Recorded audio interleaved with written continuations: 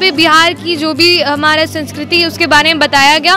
और मधुबनी हमारी एक सबसे बड़ी संस्कृति है, प्राचीन काल से है। यहाँ पर आकर बहुत कुछ सीखूं, जैसे कचनी और भी बॉर्डर्स ये मछली, समझाया भी, बना के दिखाया, हाथी सिखाया मछली, पेड़ अलग अलग तरह की चीज़ें सिखाया इन्होंने।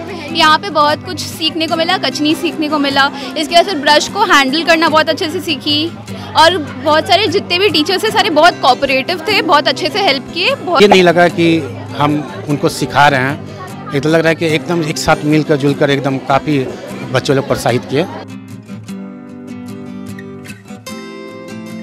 ये गमला है ये कृष्णा जी है कृष्णा जी है ये हाथी है।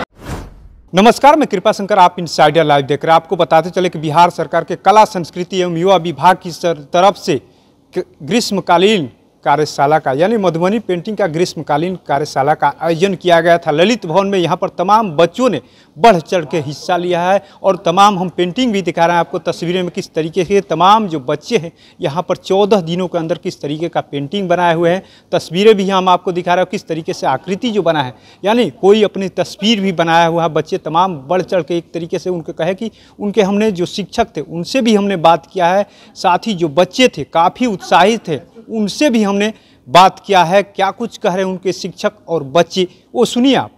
नमस्ते, मेरा नाम आलिया हैदर इमाम है। मैं एकता कॉन्वेंट स्कूल से हूँ। यहाँ पे आके इन चौदह दिनों में मुझे हर एक चीज़ पता चली मधुबनी के बारे में, क्योंकि आज के मॉडर्न डे में जो भी स्कूल्स हैं, वो जो ट्रेडिशनल कल्चर है, उसके बारे में नहीं बताते हैं। और यहाँ पे बिहार की जो भी हमारा संस्कृति है, उसके बारे में बताया गया। और मधुबनी हमारी एक सबसे बड़ी संस्कृति है, प्राचीन काल से है। तो उसके बारे में हमें कभी भी कहीं और जगह नहीं, यहीं आके पता चला। और वो फ़र्स्ट डे से लेकर मेरा आज इस आखिरी दिन तक यहाँ पे बहुत सारे टीचर्स हैं उनसे बहुत अच्छा बॉन्ड हो गया, बहुत सारे नए लोगों से मिलने का मौका मिला हमको तो वो हमको एक अच्छा लगा, क्योंकि हमेशा एक चार दीवारी के अंदर हम लोग रहते थे तो एक तरीके से बंद होने के बाद अगर खुले हवा में आकर अपनी एक अलग पहचान बनाना, वो हमें बहुत अच्छा लगा। Thank you good morning everyone my name is Rukhsar मैं ज्ञान विज्ञान रेनबो होम से हूँ। मुझे यहाँ पर आने से एक नई चीज़ का मतलब सीखने को मिला और यहाँ पर बहुत सारे लोग आए। मैंने मधुबनी पेंटिंग सीखा और मैंने पहले भी सीख चुकी थी बट यहाँ से आने से कुछ नया सीख सीखी हूँ। और मैंने जो भी सीख मधुबनी। पेंटिंग मेरा नाम काजल कुमारी मैं क्लास टेंथ की छात्रा हूँ और मैं रेनबो होम ज्ञान विज्ञान से हूँ। और मुझे पेंटिंग सीखने में बहुत मज़ा आता है और मुझे आता भी था पहले से। और यहाँ पर आकर बहुत कुछ सीखूँ, जैसे कचनी और भी बॉर्डर्स ये मछली, ये सब बहुत सारे चीज़ है। अलग अलग लोगों से भी दोस्ती अभी मेरा पेंटिंग है। मेरा नाम अश्मी सिंह है। मैं कक्षा पाँच में पढ़ती हूँ। मैं यहाँ पर अठारह मई से आ रही थी। यहाँ पर बहुत अच्छी व्यवस्था भी है और इनके कराने का तरीका भी अलग था और इन्होंने बहुत अच्छे से कराया। कुछ ना समझ में आया तो समझाया भी, बना के दिखाया, हाथी सिखाया, मछली, पेड़ अलग अलग तरह की चीज़ें सिखाया इन्होंने और सिखाने का तरीका अच्छा था। यहाँ पर खाने पीने की व्यवस्था और सब कुछ बहुत अच्छा गया और यहाँ का ओवरऑल जो भी था सब कुछ बेस्ट था। जितना वो कर सकते थे उतना उतने के हिसाब से बहुत अच्छा रहा। कुमारी हूँ। मेरा मैं कक्षा सात में पढ़ती हूँ। मैं यहाँ पे 18 मई से आ रही हूँ। यहाँ की व्यवस्था बहुत ही अच्छी है। हमें हर समय एसी मिला और यहाँ के जो हेड हैं उन्होंने हमें नाश्ता ही प्रोवाइड किया। टाइम पे हमें नाश्ता ही मिल जाता था और हमें कलर सब सबों की व्यवस्था दी गई। बहुत अच्छी यहाँ की व्यवस्था अ, पहले तो हम लोग लाइंस करना सीखे ताकि सीधा लाइन हम लोग कर सके। फिर हमें धीरे धीरे कचनी करना सिखाया गया। फिर हम लोग धीरे धीरे मछली हाथी और अब ये सारे हम लोग चीज़ें बना पाए। पहले तो अच्छे से नहीं बन पाती थी पर उसके बाद धीरे धीरे अभी भी थोड़ा हुआ अच्छे से। हाँ अच्छा सीखने का मौका मिला हमें। आगे भी अगर बुलाया जाएगा हाँ हम लोग आगे भी अगर बुलाया जाएगा तो हम लोग आगे आएँगे। छः जून को यहाँ पे फिर से आना है। हम लोग ज़रूर आएँगे।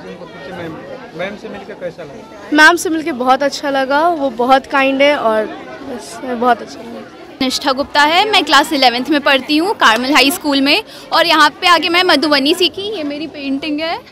और यहाँ पे बहुत कुछ सीखने को मिला कचनी सीखने को मिला। इसके वजह से ब्रश को हैंडल करना बहुत अच्छे से सीखी। और बहुत सारे जितने भी टीचर्स थे सारे बहुत कोऑपरेटिव थे बहुत अच्छे से हेल्प किए बहुत कुछ अच्छे से सिखाएँ। यहाँ पे हर चीज़ की फैसिलिटी थी खाने से लेके लाइक इतनी गर्मी में एसी वगैरह सब कुछ था।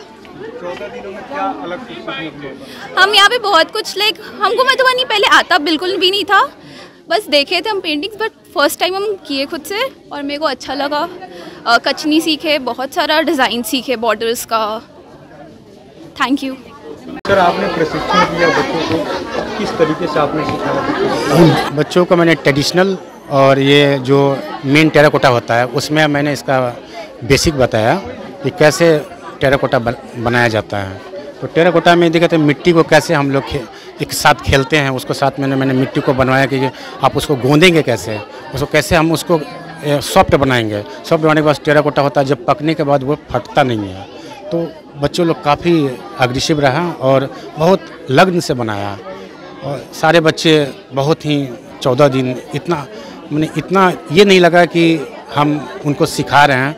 एक तो लग रहा है कि एकदम एक साथ मिलकर जुलकर एकदम काफ़ी बच्चों लोग प्रोत्साहित किए और हम लोग भी अपने जो शिक्षक थे, सब उन्होंने अच्छे अच्छे चीज़ को बनाना सिखाया और बच्चे लोग भी बहुत मेहनत किए। मेरा नाम मनोज कुमार शानी हुआ। मैं पेंटिंग सेक्शन से हूँ। मैं इंटरनेशनल आर्टिस्ट हूँ। ब- सिखाएँगे।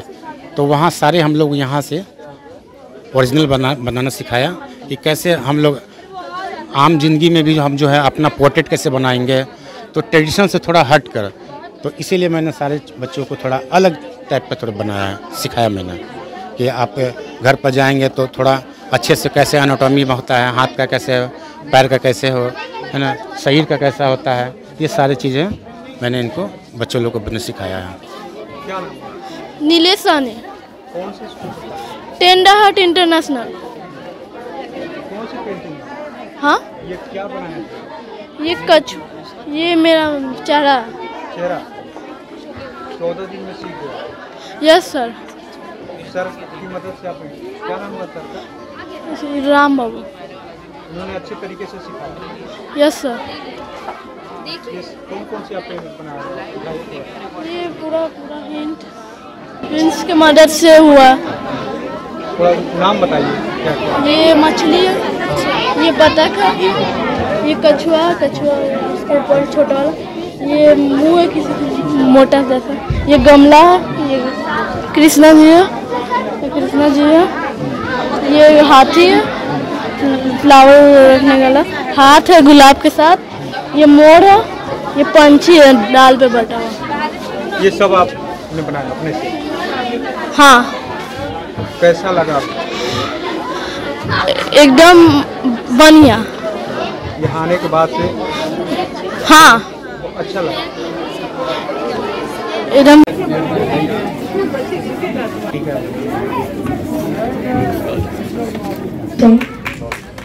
नंदिता कुमारी पिता श्री अविनाश नंदिता कुमारी कुमारी कृतिका सुमन युविका कुमार नेक्स्ट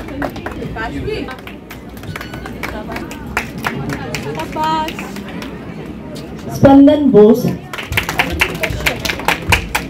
तो आपने सुना किस तरीके से जो बच्चे यहाँ पर चौदह दिनों के लिए आए हुए थे सीखने के लिए, यानी पटना के विभिन्न स्कूलों से आकर के वो बढ़ चढ़ के हिस्सा लिए थे और चौदह दिनों में उन्होंने काफ़ी कुछ सीखा है, सराहा है उन्होंने, साथ ही कला संस्कृति विभाग को भी सराहा है, साथ ही जो शिक्षक थे उनसे भी हमने बात किया तो उन्होंने कहा कि हमको लगा है नहीं, बच्चे अपने आप सीखते चले गए और पता ही नहीं चला कि चौदह दिन कैसे बीत गया। उन्होंने ये भी कहा कि आगे भी इस तरीके के कार्यक्रम में हम लोग आते रहेंगे और बच्चों ने भी कहा कि बहुत कुछ हम लोग को सीखने को मिला है और उम्मीद है कि आगे भी इस तरीके के आयोजन होंगे तो हम लोग भी इसमें बढ़ चढ़ करके हिस्सा लेंगे। तो ऐसे ही तमाम अपडेट से जुड़े रहने के लिए इनसाइडर लाइव देखते रहें।